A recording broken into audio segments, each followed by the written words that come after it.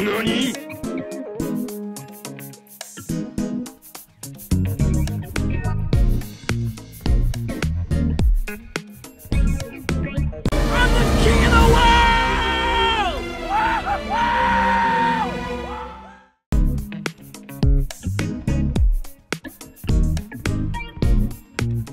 when you're climbing the building, you have every emotion, every endorphin, every dopes, dopamine receptor, serotonin receptor firing at once to optimize the survival.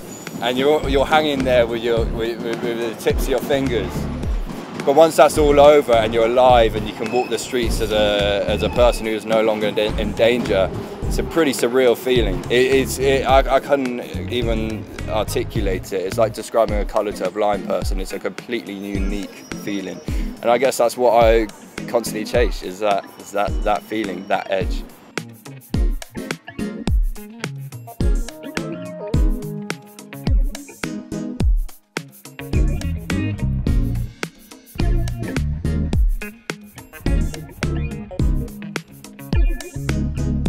Climb, so initially when I started, I felt a little drizzle on my arms, which was a bit disconcerting.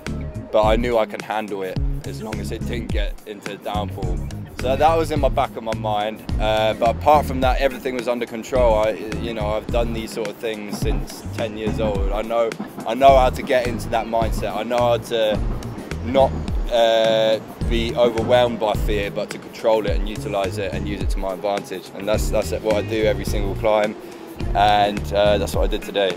But this one, you know, no matter how easy the technical climbing aspect of it of it is, you can never underestimate the potential for death.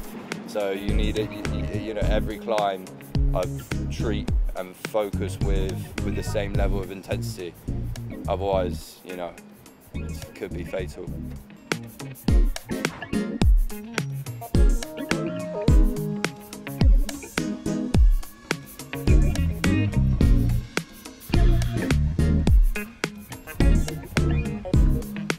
It's, it's, it's never a, a throwaway comment to say that I could die.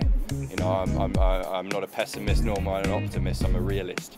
I can train all I like, but there's always that little percentage of a chance that I could die. So that's in the back of your mind. But once you're on the building, once you're doing your thing, there's no room for any thoughts like that. It's just you in the moment, getting what you have come here to do. Once you come out of that, the feeling is an overwhelming sense of you're through.